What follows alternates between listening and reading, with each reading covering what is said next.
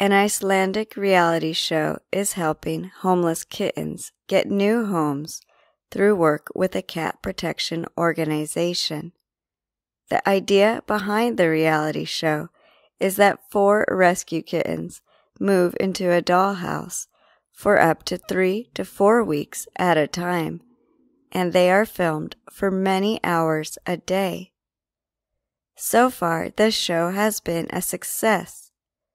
Many of the kittens have been rehomed, and as they get adopted, new homeless kittens take their places.